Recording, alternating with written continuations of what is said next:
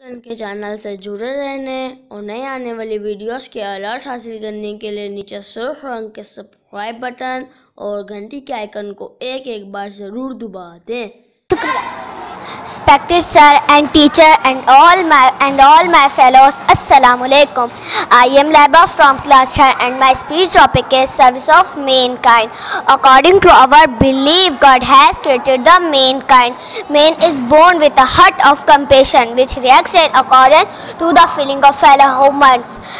The god has sent us to earth to do something se- special different for each people according to their specialities the god has taken different forms to send the message to whole mankind and the Hazrat Muhammad taught us to live together and to be a kind person. Others in holy book Quran it is said that service of mankind is service of Allah service of mankind is the first promise one has to make before God enters his heart